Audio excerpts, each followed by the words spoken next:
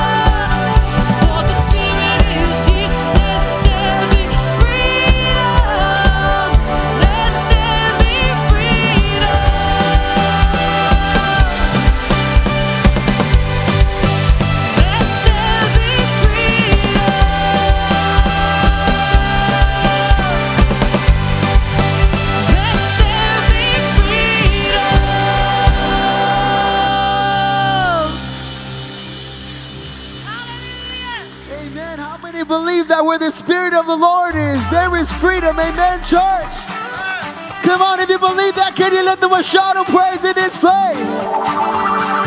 Amen. God is still working. Amen. God is still moving. If you believe that, come on. Come and worship with us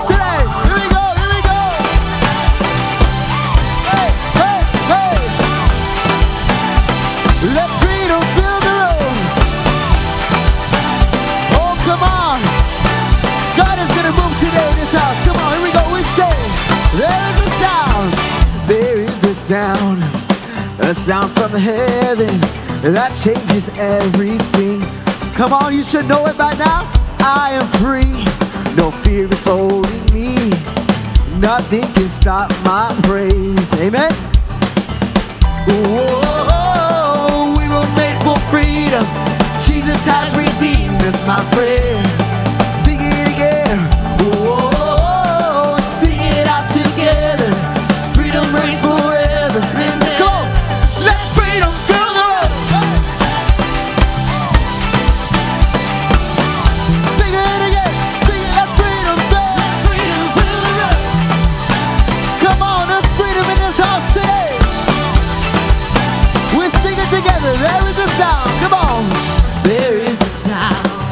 from heaven. A sound from heaven that changes everything. Come on, say, I am free.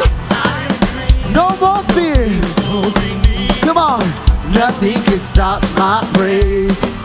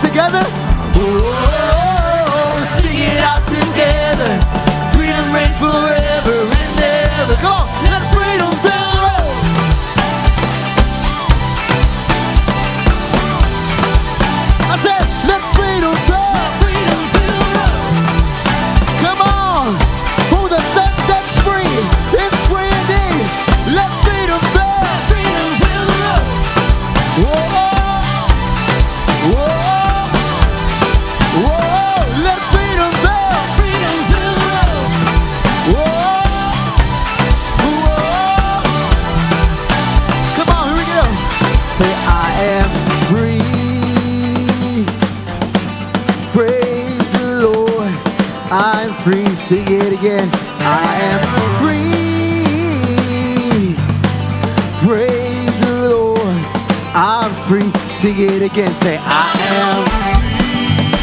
Come on, who's free in the house of the Lord today? Sing it again. I am free.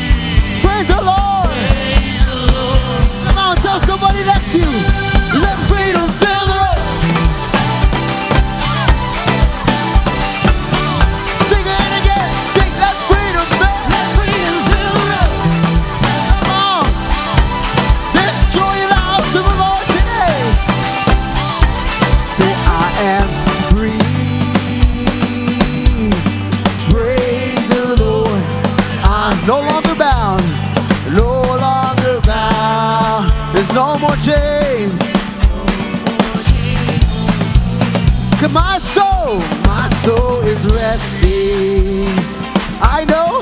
It's just a blessing. Come on, we're gonna declare this together. Praise the Lord. Come on, in every season, praise the Lord. Through the struggles, Praise the Lord. come on. Through the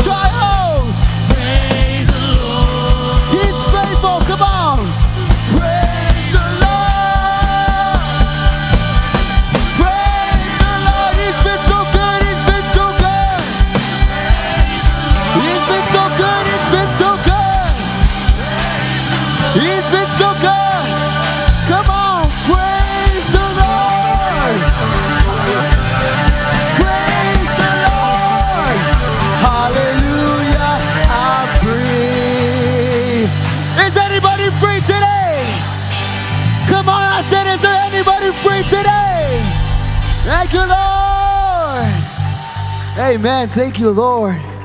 There's freedom in the house today. Amen, church. Who is happy to be here today, Mercy Church? My name is Jonathan. I have the pleasure of serving here um, as co lead for our media team. Shout out to our media team out there. If you're ever on the road, if you're ever not in town and you log in, it's because there is an awesome group of volunteers that are serving week in and week out to spread that good news. Amen. So who was here for revival? Anybody? Let me see your hands. Oh my goodness, guys. The things that we saw that we experienced during revival, I was just floored. The probably the biggest thing for me was the flat feet people getting arches in their feet. I was like, okay, Lord. Even my son was like, Dad, what is that about? And I was talking to somebody and I was like, you know, you never really think about flat feet if you don't have it because you run around and, uh, you know, unless you're, you know, you can't, but you run around and you're doing it. And, and that was the biggest thing they were saying, you know, I was afraid to run. If you were here at any of the nights, there was running going on. There was things going on. And, and they wanted to run. The sister wanted to run and she ran. She felt that arch and you know there's there's so many testimonies that you know god was just healing people. He was touching kidneys. He was you know restoring people. Uh, there i mean these altars the the the stage um, pastor vasquez you know shared how there was this stage was full. If you were here on any of the nights this stage was packed and he said and the stage didn't fall down so we are ready. We are ready for revival. Amen? And there has been revival going on in this place There's been revival going on here for quite some time, but I think just Friday and Saturday night, I know my son invited two friends. They came. I don't know if they'd ever been to a Pentecostal revival, but they saw it all. And the best part of it is that they gave their life to the Lord. They said yes. So we're excited, church. We're excited. If you are looking to join us in ministry to partner with us, we invite you after service, not right now, after service. See us in the front lobby. Get connected because, church, there was some words that were spoken. Accelerate, accelerate, increase, expansion, and it's happening. So we need you to partner with us. If you're feeling that, if you're ready, join us. Because if you feel like, you know what, there's enough cameramen or there's enough people singing, I can guarantee you we can always use you. Amen. This morning I get to pray over our tithes and offerings. And as I was thinking about what I was going to say, it's good to have wives. Amen, men? It's good to have wives and wives that love God. And this is hard for me. Being up here is super hard. That's why I'm on the camera. That's why I'm back there doing lights because I don't like to be here on the stage. But I'm back there and I was like, I was like, how do you how do you do it to be up? That's my wife Jill right there, by the way. I said, how do you do it? She says, it's it's just the joy. It's the joy in my heart. It's the joy that the Lord has given me. And I said, I got that joy too. I can do that too. But you know what? We're not perfect. I'm not perfect. And you know, God was showing me that when it cut, that when it came to my tithes and offerings, there was times in my life where I put more emphasis and more, uh, more trust in those bills. I would pay out all my bills and everything, and and I, and I would say, Lord, if I have enough after the bills, then then I'll, I'm going to give my tithes. And you know what? I always came out short. It didn't matter. It didn't matter. I always came out short, and I was like banging my head. But you know what? We serve a loving God. There was a song I was listening to yesterday. It's, it's your kindness that leads us to repentance. Maybe I'm dating myself. It's an older song, but it, it just spoke to me. This, you know, so today, if you're if you've been struggling, if you've been wanting to take that step, because it's trust. It takes trust with our finances, amen. Because we have our budgets and we know what we can spend and, we, and, you know and we know we have you know the, the things coming up and sometimes there's things that we can't plan for you know the car breaking down or something going on but god's asking us to trust him. Amen? So today as you prepare your tithes and offerings if this is the lord speaking to you take that leap of faith. Trust the lord with every part of you including your finances. So let's pray. Father i just thank you lord for speaking to, to us, Lord, for speaking to me, Lord, during these nights, Lord, for just doing a work in me, Lord, and doing a work in this church, Father. I thank you, Lord, that this place, Lord, that we call home, Lord, Mercy Church, Father, is a place of refuge, God. It's a place of restoration, Lord. And I thank you, Lord, that as these tithes and these offerings are given here today, Lord, Father, the work, your work, Lord, is even further, Lord. But Father, those seeds, Father, that we're planting, Lord, we're not only planting, Lord, for others, we're planting those for our own family, Lord. And I just thank you, Lord, for the, the tithes and the offerings, Lord, the people that are here, Lord. Thank you for your love. Thank you for your guidance. Thank you for your move in this place, Father. In Jesus' name, amen. God bless you, Mercy Church. Thank you, Lord. We thank you, God, even today, Lord. Even today, even now, God, you're still working, Lord. You're still moving, amen. The weapon may be formed, but it won't prosper. When the darkness falls, it won't prevail. Cause the God I serve knows only how to triumph. And my God will never. Come on, say that over your situation today. Oh, my God will never fail. I'm gonna see a victory. Come on, lift it up, church. I'm gonna see a victory, for the battle belongs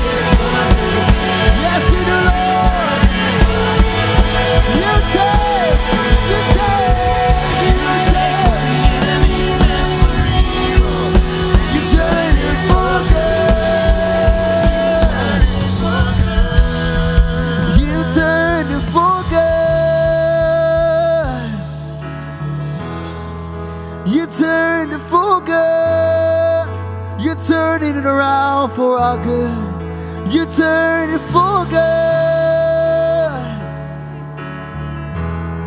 Oh, we have the victory in Jesus. Come on, can we say that one more time? See, I'm gonna see you. I'm gonna see your victory. For the battle belongs to you, Lord. I'm gonna see a victory. I'm gonna see a victory. For the battle belongs to you, Lord. Just right there where you are, can you lift your hands and begin to thank Him for the victory? Just right there in your own words, can you begin to just say, Lord, thank you for the victories that you've already given me? And thank you for the victories that are on their way, God. Thank you, Father, for the victories that I've experienced in the past. Lord, I also thank you for the victories that I'm yet to experience in the future, God. Because the same God who worked in days of old is the same God who works today, and you will be the same God tomorrow. So, Lord, your power that was working miracles in the past is the same power that is working miracles today. Same God that was winning victories in the past is the same God that is winning victories today. Come on, church, lift your hands, lift your voice, and begin to say, Lord, thank you. Thank you for my victory. Thank you that I will see your glory. Thank you that I will see your power. Thank you that I will see miracles in my life. Thank you, Lord. If you've done it before, you're going to do it again, God. Thank you, Jesus. Thank you, Lord. We bless you. We honor you. We worship you, Lord. You know, over the last couple of days, many of us were able to be here in our in our nights of revival, revival nights. Let me tell you something. It started it started Friday and it was glorious, powerful. But then what happened last night was un, unlike anything else I think so many people have ever experienced before. We literally saw God do creative miracles, creating things on people's bodies that weren't there before. Creative miracles. The power of God was so thick and so rich in this place. God was speaking so powerfully, so divinely to the point, and, I'm just recapping because I know that there there's some that were not able to be with us, but God was speaking in a way that giving personal details of people's lives, not anything shameful or anything like that. Don't don't mistake that. No, nothing like that. But personal details of people's lives that there's no other way that an individual could have known that other than God was revealing it to them.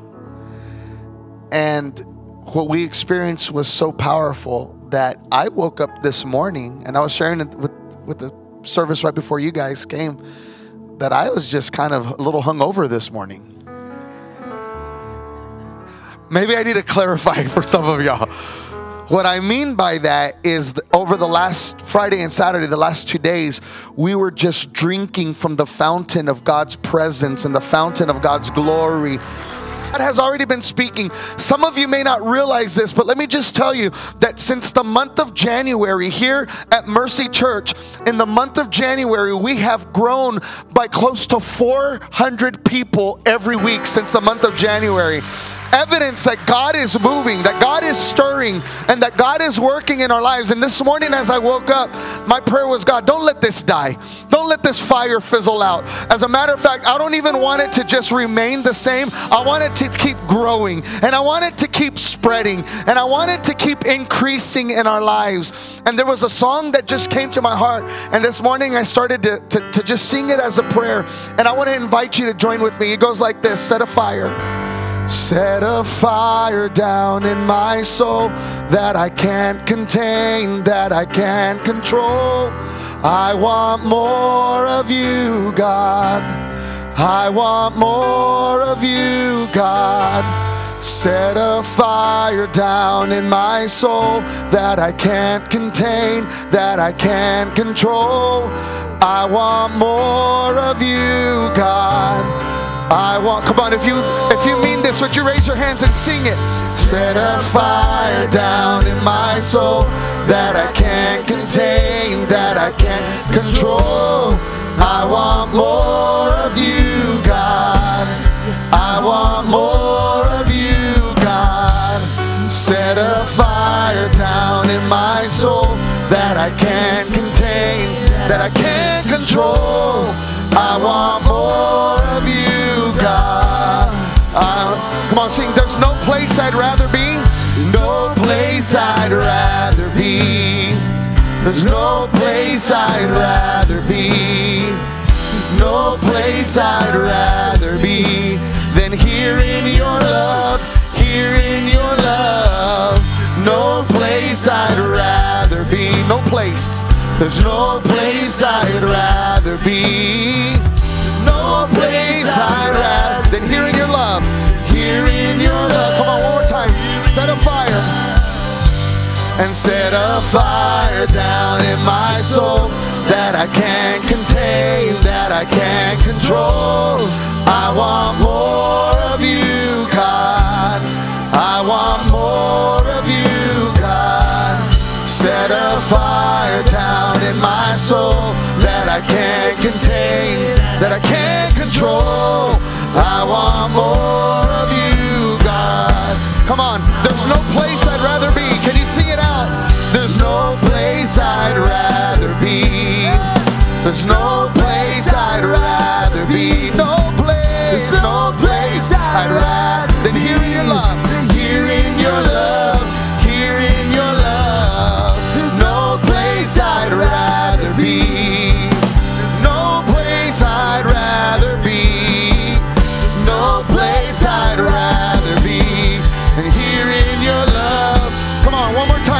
Set a fire. Set a fire down in my soul that I can't contain, that I can't control. I want more of you, God. I want more. Can you sing it as a prayer today? Set a fire down in my soul that I can't contain, that I can't control. I want more of you, God. Come on, as a prayer, one last time. Set a fire. Set a fire down in my soul that I can't contain, that I can't control. I want more of you, God. I want more of you, God. Set a fire down in my soul that I can't contain, that I can't control. I want more of you, God. I want more of you, God. Come on, if it's your prayer, will you bless him? Will you honor him? Will you praise him and worship him today? Yes, Lord. Lord, that's our prayer today, God. We want more of you. Lord, help us not to let this fire that you've ignited in our hearts die out, God. But I pray that in each and every one of our lives, each and every one of our hearts, we would take the encounters that we have been having with you, God. And Lord, I pray that the fire would not die down, but that it would grow and it would increase and it would spread, Father. Because you want what has started in our lives and you want what has started in Mercy Church to spread into the streets of our community, to spread to the streets of San Antonio, God. You want what has been taking place in our lives and in this church to impact, Father, the nations of this world. So, Father, we pray today, set a fire in our hearts that it would not be able to be contained or controlled, but Lord, that it would grow and that it would spread for your glory and the honor of your name. We ask this in Jesus' mighty name. And the church says, Amen. Amen. Thank you, Jesus. Thank you, Lord. Thank you, Lord. Amen. Would you may be seated this this morning and I want to just share with you what the Lord has placed in my heart for today. As as we've been sharing with you, I mean, we we've just literally have had encounters with God over the last couple of days. But I want you to know, and I want you to understand this, that even if you were not here in our revival nights, you have been having encounters with God. God is moving in your life. God has been speaking to your life, and the evidence of it is this that you're here today. You would not be here today if it wasn't for the work of God in your life.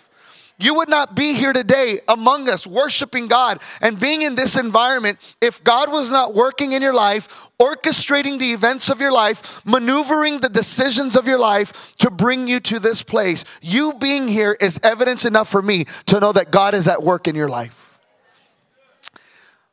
But but I want you to understand what we're praying today, what we're what we're believing God for today.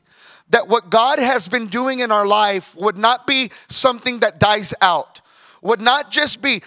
As those of you that are parents, okay, maybe you've got a little bit more more years. I'm not saying you're old. I'm just saying you got more years on the earth.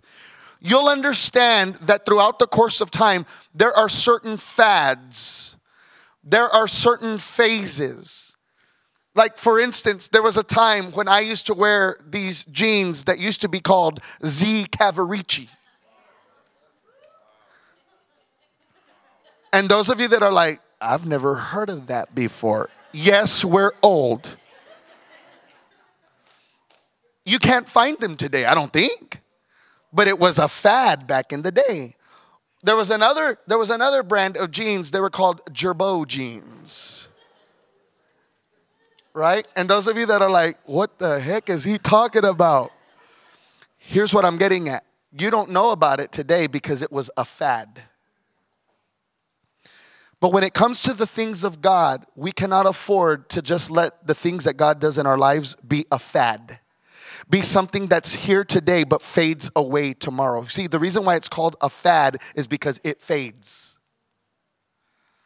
And the move of God was never intended in our lives to be something that we experience in one season but then fades away by the next season.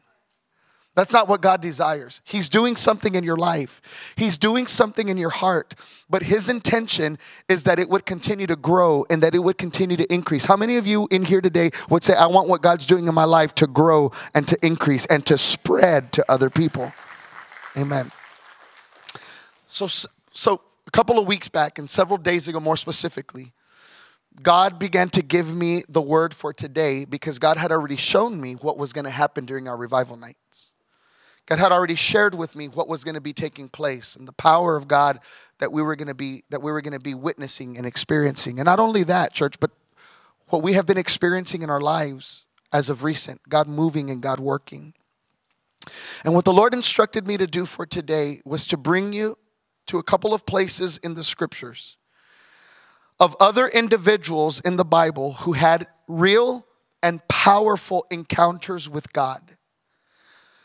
But to look at what they did after the encounters so that you and I could know and understand what to expect after we have an encounter with God and what we need to do after we have an encounter with God. So, for that, I want you to go with me in your Bibles to the book of Exodus, chapter 3. I want us to consider this, this first encounter that we're going to read about. This is the encounter that Moses has with God as God begins to speak to him and deal with his life through a burning bush. God begins to speak to Moses from within a bush that was burning. Let's read it together. Exodus chapter 3, beginning with verse number 1. And this is Moses' encounter with God at the burning bush. Now, Moses was tending the flock of Jethro, his suegro, his father in law, the priest of Midian. And he led the flock to the far side of the wilderness and came to Horeb, the mountain of God. There, the angel of the Lord appeared to Moses in flames of fire from within a bush. Moses saw, listen to what he saw. Moses saw that though the bush was on fire, it did not burn up. Now, if you, I, I want you to catch, capture that detail and understand that detail. Because when God begins to reveal himself to Moses, and God wants to have an encounter with Moses, God allowed Moses to see something and to experience something that was different. I will even say that was a little strange because the Bible, if we keep reading, you'll see it in a moment. It, it, Moses actually says, I'm going to go towards that to see what this strange thing is. And you might wonder, why in the world would God cause a bush to burn, but it was not burned up? Why would God set a bush on fire, but the bush was not destroyed by that fire? The bush was not consumed or burnt up by that fire like normally it would be. Why was it a strange sight? Why was God allowing Moses to see something different, something maybe perhaps a little strange? While he was having an encounter with Moses in church, here's the only reason why because Moses needed to understand that the moment that he was in was a supernatural moment. It wasn't an ordinary moment. You see, when we have encounters with God, those are supernatural moments. They're not ordinary moments. And sometimes God will cause us to see things and experience things that are a little bit different, that are a little bit perhaps strange to us, but God allows us to see it and to experience it so that we will understand we're in a divine moment from God. This is why, look, over the last couple of days, this is why we saw God creating arches in people's feet when they didn't have arches before. This is why God allowed us to see that. Why is it? Because they were going to die from flat feet? No. It's because God wanted us to know I'm giving you a sign, I'm giving you an evidence that I see you, that I know you, that I'm in your midst and I'm working among you. You're in a divine moment right now. This is why God allowed us to experience a man who didn't know any of us, but he would come and, and, and as God would reveal it to him, he would speak things that were personal about people's lives, talking to them about their homes, what was in their homes, their street addresses. He didn't know these people, but why would God cause us to see something like that? Because God wants us to understand that we're in a divine moment, that we're in a season of encounter with God. And it might seem a little strange to some, but to me it says, God, you're among us and you're working in our midst. You're among us.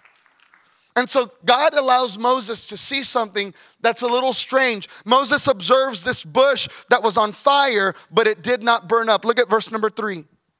So Moses thought, I will go over and see this strange sight, why the bush does not burn up. When the Lord saw that, that Moses had gone over to look, God called to him from within the bush and he said, Moses, Moses. And I love that, y'all, because listen to me. You and I need to understand that God knows us by name. You know, that's another thing that we saw over the last couple of days. A man who does not know anyone in this church, and yet he would call them by name as God revealed. And, and, and my wife and I were sitting right, right over here, and we were looking at ourselves like, I didn't know that that was their, their middle name. And he was calling them by their middle name. Again, it's just God showing us that he knows us and he's with us. God called to him from within the bush, Moses, Moses. And Moses said, Here I am. Verse 5 Do not come any closer, God said. Take off your sandals, for the place where you're standing is holy ground. Then he said, I am the God of your father, the God of Abraham, the God of Isaac, and the God of Jacob. At this, Moses hid his face because he was afraid to look at God. Verse 7 the Lord said, I have indeed seen the misery of my people in Egypt. I have heard them crying out because of the slave drivers, and I am concerned about their suffering. Verse 8 So I have come down to rescue them from the hand of the Egyptians and to bring them up out of the land into a good and spacious land, a land flowing with milk and honey and pan dulce. By the way, give me your favorite pan dulce at the count of three. One, two, three. I like that one too. A land flowing with milk and honey, the home of the Canaanites, the Hittites, the Amorites, the Perizzites, the Hivites, the Jebusites, and there were probably some termites in there as well. Verse number nine. And now the cry, this is God speaking. Now the cry of the Israelites has reached me. I have seen the way that the Egyptians are oppressing them. So now, Moses, go. I am sending you to Pharaoh to bring my people, the Israelites, out of Egypt. And so Moses is having this encounter with God. Moses sees something a little bit different. Moses sees something a little bit strange. God is calling him by name, but it's all evidence that he's having an encounter with God. And church, we can't deny that this was this was an encounter that Moses was having with God. It was a powerful moment. And if you know the story, God begins to reveal to Moses, Moses, I'm calling you. I'm choosing you to go back to Egypt and to bring my people, the Israelites, out of the bondage and out of the slavery that they have been in. And if you know the story at all, and if, if even if you don't, let me just recap it briefly for you. Moses begins to argue with God. Moses begins to tell God, God, do you know who you're talking to? I can't do that. I don't speak that well. I wouldn't even know what to say. You want me to go confront Pharaoh, who was the king of Egypt? And you want, who am I? I'm a nobody. I don't know how to speak. I don't know how to talk. And Moses starts arguing with God, giving him all the excuses as to why he can't do what God was calling him to do. But ultimately, God says, Moses, there are no excuses because if I'm calling you, then I will be with you and I will empower you to do what I've called you to do. So, reluctantly and hesitantly, ultimately, Moses finally decides to obey God. He doesn't feel very confident about it. He's a little bit reluctant about it, but he finally makes a decision to obey God. So Moses now gets his family, his wife, his kids, and he starts making preparations to obey what God told him to do. To go to Egypt because God told him that I'm going to I need you to confront Pharaoh and then you're going to bring my people up out of the bondage that they're in. I want you to pick it up now at verse number 18 of chapter 4. Exodus chapter 4 and verse number 18. Moses is now preparing himself to go and obey what God has told him to do, what he heard in this encounter with the Lord. Verse 18 of chapter 4. Then Moses went back to Jethro, his father in law, and said to him, Let me return to my own people in Egypt to see if any of them are still alive. Jethro said, Go, and I wish you well. He's going to go obey what God told him in that encounter. Verse 19. Now the Lord had said to Moses in Midian, Go back to Egypt, for all those who wanted to kill you are dead. So Moses took his wife and sons and put them on a donkey and started back to Egypt. And he took the staff of God in his hand. 21. The Lord said to Moses, When you return to Egypt, see that you perform before Pharaoh all the wonders I have given you the power to do. Now look at this little detail right here. Because it says, if God says, Moses, I, I, I told you in that encounter how I was going to use your life. Moses, I gave you a promise in that encounter. I gave you an, insi- an assignment in that encounter. You're to go and talk to Pharaoh and you're to bring my people out of the bondage that they have been in. Oh, but Moses, did I forget to tell you this little detail? And Moses has already saddled his donkey and he's already on the way. And God says, Hey, but wait, Moses, I need you to understand this little detail. I will harden Pharaoh's heart so that he will not let the people go. In other words, here's what God says Moses, I know I told you that, that, that you're going to go and speak to Pharaoh, and I know I told you that you're going to go and you're going to lead my people out of bondage, but here's also what I need you to know. Even though you're obeying me, and even though you're following through with what I told you in my encounter, expect resistance in your life. You're going to be resisted. You're going to experience resistance. Don't just think because I spoke to you, don't just think because you had a real encounter with me that it's just going to be easy from here on out. No, you're going to experience resistance, Moses, but I need you to know that in spite of the resistance that you experience, I need you to do what I told you to do, and I need you to believe what I told you I was going to do. Don't doubt it. And don't change the assignment just because you experience resistance. Church, listen to me. If you have been in an encounter with the Lord, God spoke to you. God gave you a promise. God is moving in your life. God is doing powerful things in your life. But you and I can expect resistance along the way. Even after an encounter with God, we can expect resistance. But you and I need to understand just because there's resistance after an encounter does not mean that God has changed his mind. What he said, he will be faithful to do it. And if he told me to do something, even if there's resistance, I need to do it anyways. I need to do it anyways. Why is resistance important? Church, listen to me. The resistance is not there to kill us. The resistance is not there to cancel the promise that God gave to our lives.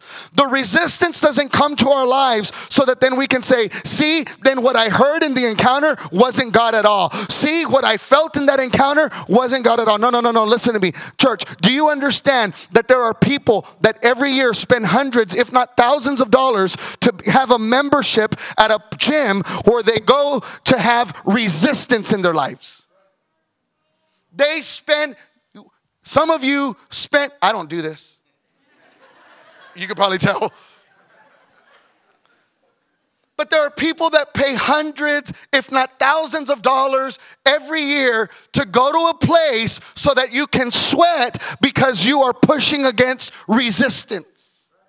Why do you do that? Why do you pay for it? Because you understand that the resistance isn't there to kill you, but what the resistance actually does is it builds you and it strengthens you and it makes you stronger. So, as Moses was going to obey God from the command that he received in the encounter, God says, Moses, I need you to understand that you're going to still experience resistance along the way, but don't you dare think for a moment that I'm not with you. And don't you dare think for a moment that I've changed the assignment. And don't you dare think for a moment that it wasn't me who spoke to you. Just just because there's resistance, it still means that I'm going to use you. And as a matter of fact, because of the resistance, it's going to mean that my miracles are going to be displayed in a more powerful way, that my power is going to be displayed in a more amazing way because of the resistance that you experience. So, church, listen to me.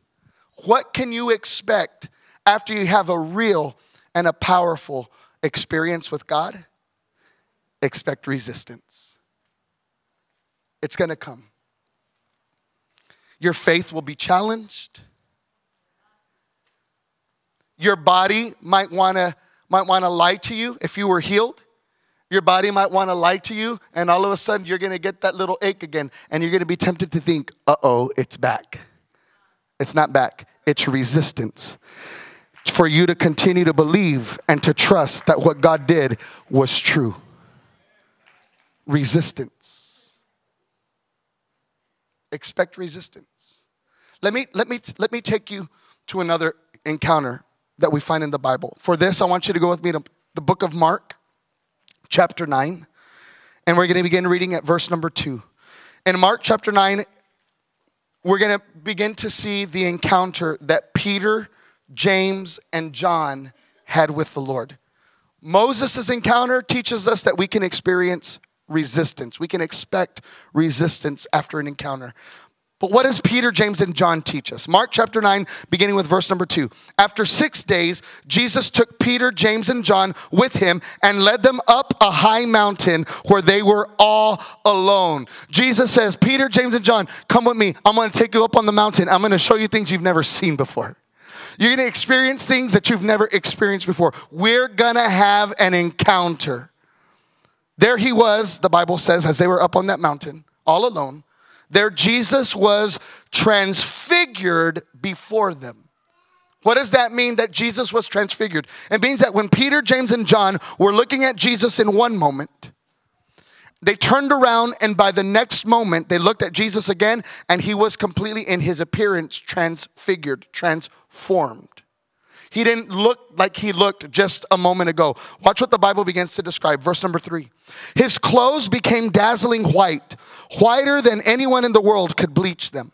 And there appeared before them Elijah and Moses who were talking with Jesus. So Jesus is transfigured and transformed in such a way that now they are seeing him completely filled with the glory of God. He doesn't even look the same now. And not only that, but when it was just Jesus, Peter, James, and John, now all of a sudden Moses and Elijah are there and they're having a conversation with Jesus, and Peter, James, and John are watching it all and they're hearing it all. Look what, his, what it says next. Verse 5 Peter said to Jesus, Rabbi, you know what? It's good for us to be here. What an understatement, right? What a, what a kind of like a dumb thing to say. Lord, it's, it's, it's, it's, good, it's good that I'm here. It's a good thing that I'm here. It's a good thing you invited me to this party. And watch what he says next. Let us put up, this is Peter speaking, let us put up three shelters. In other words, three tents one for you, one for Moses, and one for Elijah. Notice what Peter says. He says, Lord, it's good for, it's good for me to be here. Thank you for inviting me to this party, to this encounter. Here's what I want to do, Jesus. I want to set up three tents one for you, one for Moses, one for Elijah. Why do you think Peter wanted to set up some tents for them? Because he didn't want the moment and the encounter to end. He didn't want this experience to end. He wanted, he wanted to live in this moment of encounter with God. So Peter says, Lord, I don't want to leave this. Your presence is so amazing right now. Your glory is so amazing right now. What you're doing, this encounter is so powerful right now. Lord, let me let me set up three tents. One for you, one for Elijah, one for Moses. We'll just live up here and I'll just sleep on the ground. It don't matter to me. I just want to be here. And and and notice that Jesus doesn't turn to Peter and say, "You know what, Peter, that's an excellent idea. Set up those tents." Jesus doesn't say that. As a matter of fact, you know what Jesus actually tells Peter? uh uh Peter, we're going to go back down to where the people are. Why is that, church? Listen to me. Because as much as we would want to stay in a moment of encounter with God, the encounters that God gives us are not for us to just set up a shelter and to live there and to never come back down to touch the people. We need to come down from the spiritual mountains that we have been, and those spiritual mountain experiences are amazing, aren't they? Those spiritual mountain experiences with God are powerful, aren't they? But, church, listen to me. God doesn't give us those encounters just so that we can keep them to ourselves. He wants us to come down from the mountain and He wants us to begin to touch people's lives with the power that we received while we were on the mountain. And so, Jesus now begins to bring Peter, James, and John down from the mountain because you, you can't just live there. But I want you to pick it up now at Mark chapter 9, verse 14. And, I, and I'm going to ask our team to come, our worship team. And I want you to listen to what it says here as they started to come down from that experience with God, the Bible says they came to the other disciples. They came down the mountain, they came down to where the people were, and they came to the other disciples, and they saw a large crowd around them and the teachers of the law arguing with them. What do they come down to experience after their encounter with God? They come down to people arguing. Isn't it true, church, that sometimes after an amazing service, after an amazing and a powerful time in the presence of God, we get to the parking lot and then all of a sudden there's fights and arguments and discord? Or we'll go back home and there's bickering and there's fighting and there's arguing. This is what happened after their encounter. Watch what it says. Around them, the teachers of the law were arguing with them. 15. As soon as all the people saw Jesus, they were overwhelmed with wonder and they ran to greet him. What are you arguing with them about? Jesus asked. Verse 17. A man in the crowd answered, and I want you to hear this, church. A man in the crowd answered, Teacher, I brought you my son who was possessed by a spirit that has robbed him of speech. Whenever it seizes him, it throws him to the ground. He foams at the mouth, gnashes at the teeth, and becomes rigid. I asked your disciples to drive out the spirit, but they could not. Verse 19 You unbelieving generation, Jesus replied. How long shall I stay with you? How long shall I put up with you? Bring the boy to me. So they brought him to Jesus. And when the spirit saw Jesus, it immediately threw the boy into a convulsion. He fell to the ground, rolled around, foamed at the mouth. Jesus asked the boy's father, How long has he been like this? From childhood, he answered.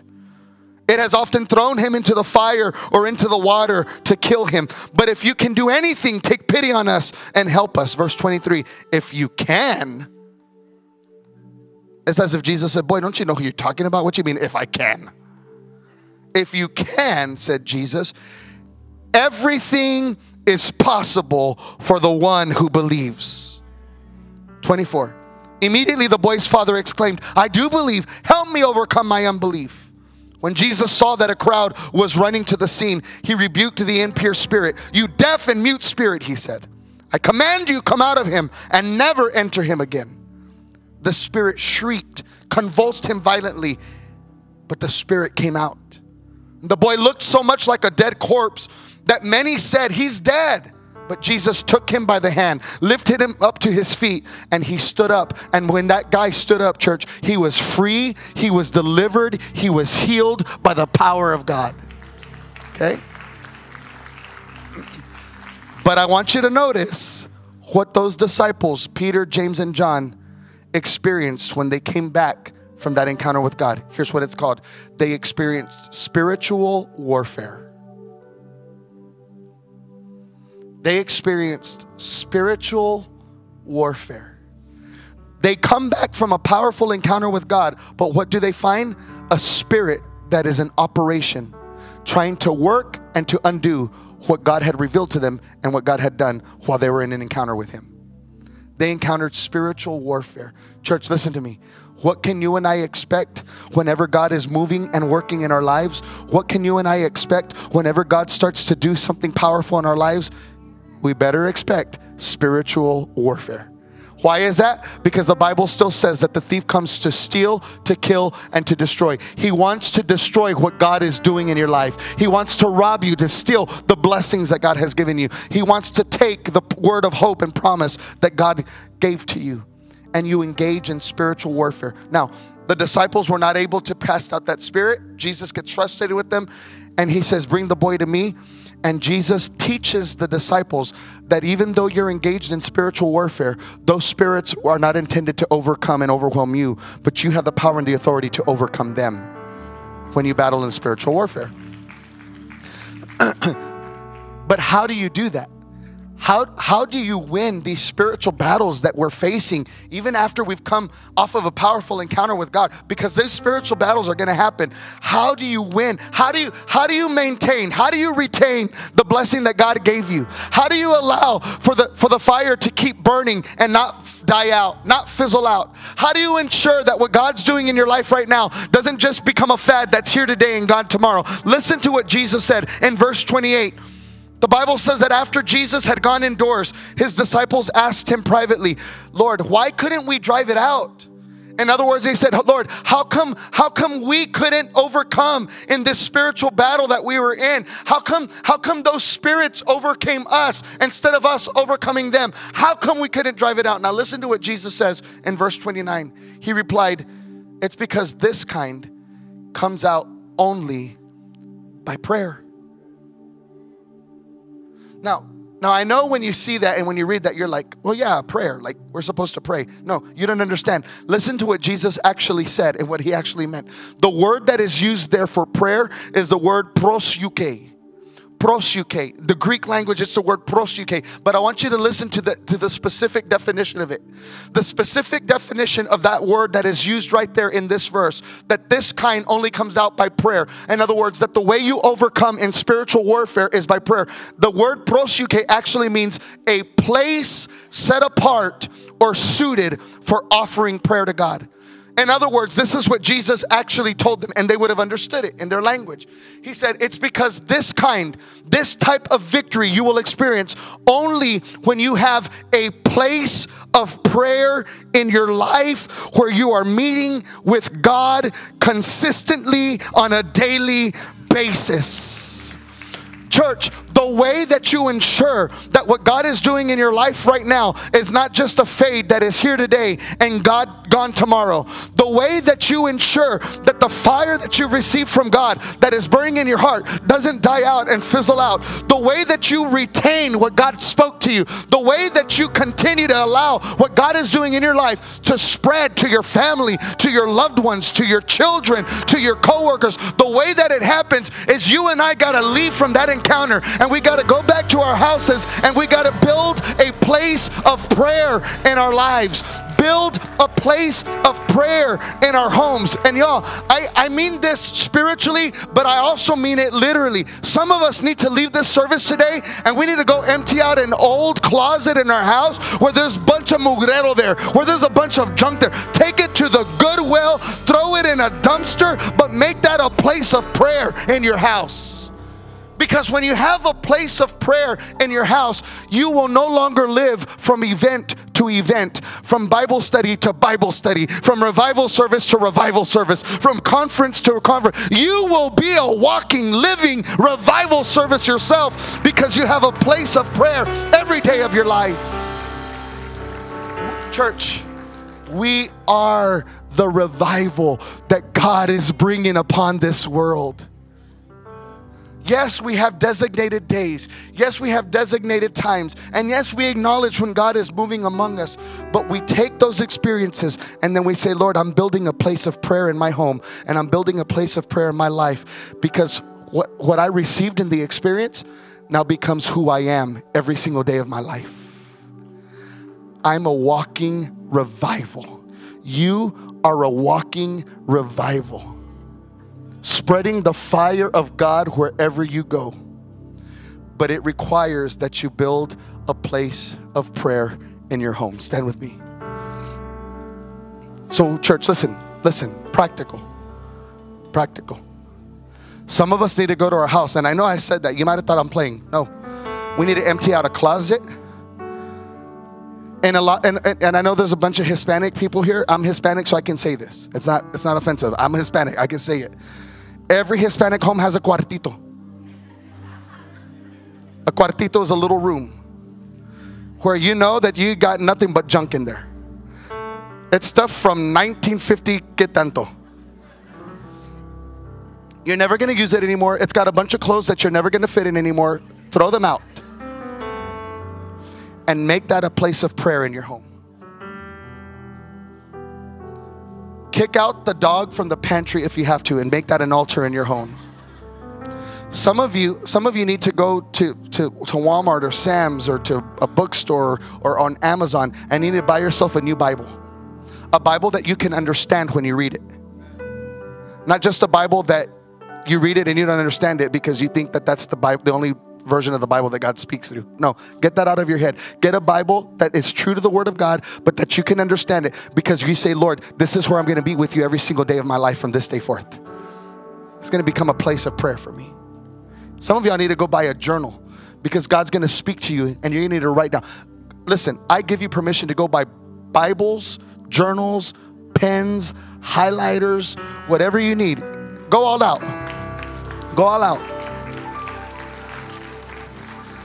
But use them not for your favorite love novels. Use it as you meet with God consistently on a daily basis. And when you create a place of prayer in your life and in your home, watch what God will begin to do as the fire grows and spreads in your life. Come on, if this is your heart's desire, can we end today? Can we end today? If you would like coming to the altar and just beginning to say, Lord, set a fire, set a fire down in my soul. Set a fire down. Come on, before we leave today, can we just make this our prayer? Can we make this our cry before the presence of God? I want more of you, Lord. I want more of you. I want more of your presence, God. Come on, your prayer, your cry that I can't contain. Let it spread, let it grow, God. Oh, come on, church. This has got to be the cry of our heart. This has got to be the prayer of our lives. The prayer of our lives, the cry of our heart. I want more, I want more, I want more of you, God. I don't want this to just be a fad. I don't want it to just fizzle out, God. I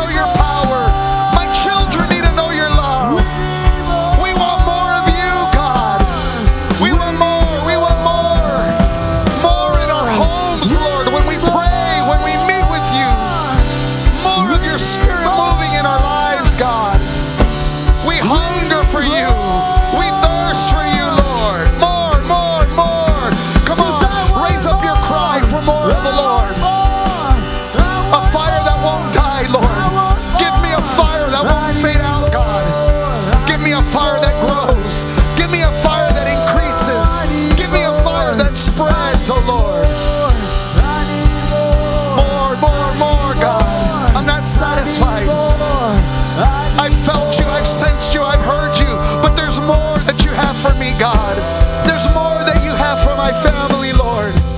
There's more that you have for our children. Set that fire, Lord. Oh, we want more, God. We want more, Lord. We want more. Come on, there's got to be somebody that will cry out to God for more. Someone that will cry out with your heart for more of God. Come on, would somebody begin to intercede for your children? Would somebody begin to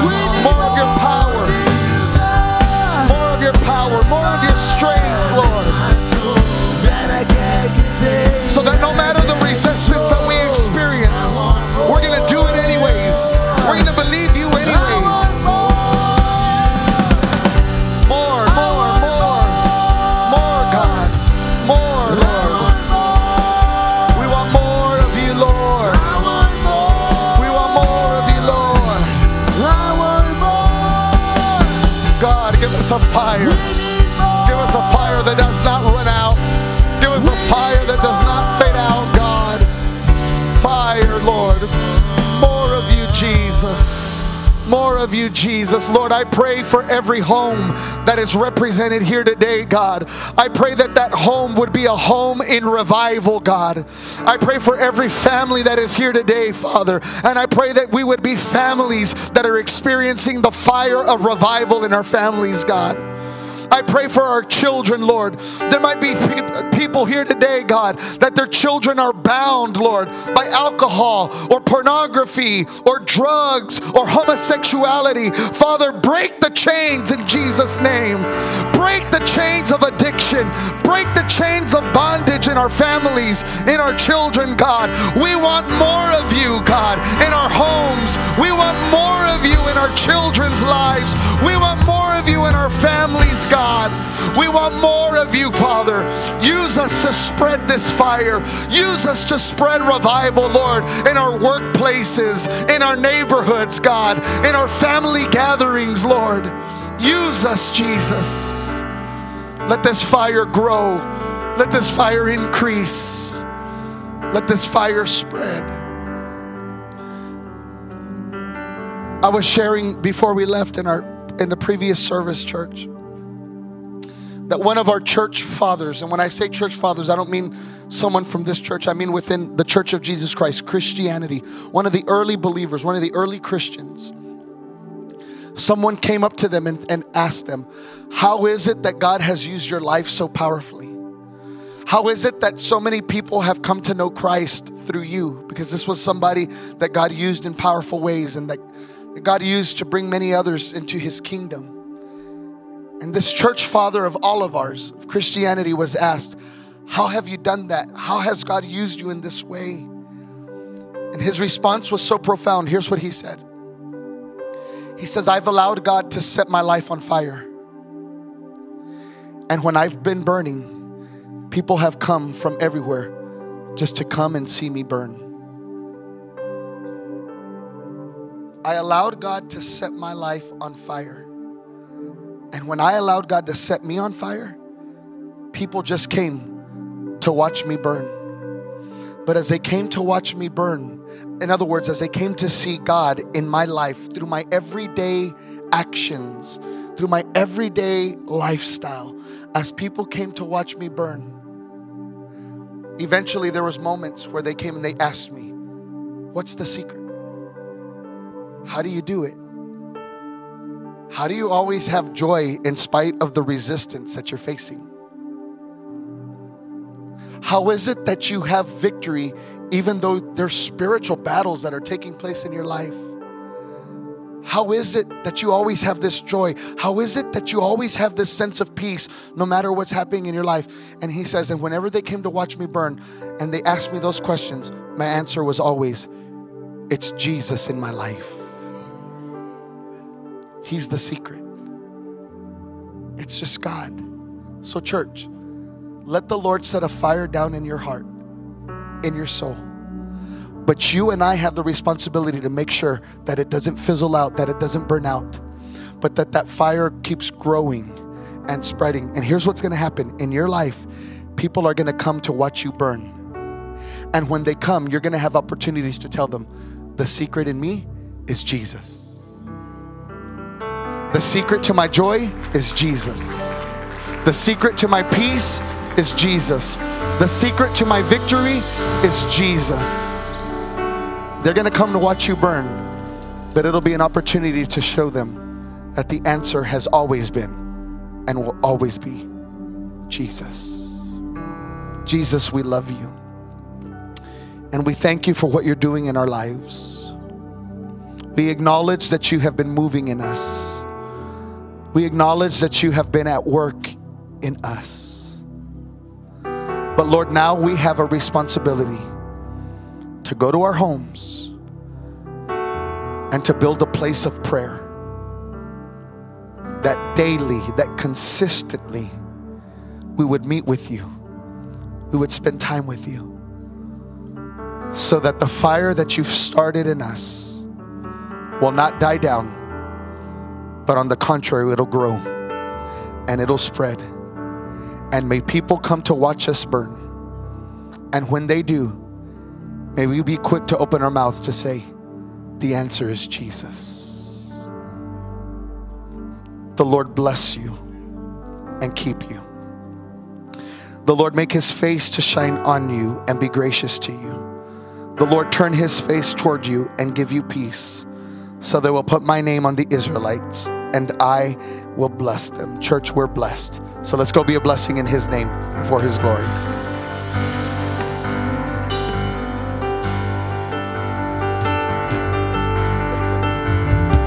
There's no place I'd rather be. There's no place